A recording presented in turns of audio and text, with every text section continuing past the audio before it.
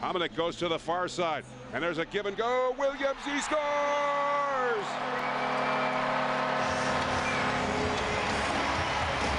Great cut by Shawn Williams. A big mix-up on the Philadelphia wing defense. As the ball was on the left-hand side running the pick and roll, Shawn Williams just slip picks. Nobody on him, gives a couple of hedge fakes, goes far side on Miller. Shawn Williams picking up right where he left off from last night. And the Bandits have a 1-0 lead. Again, a great slip pick. He came in to set this pick. He faked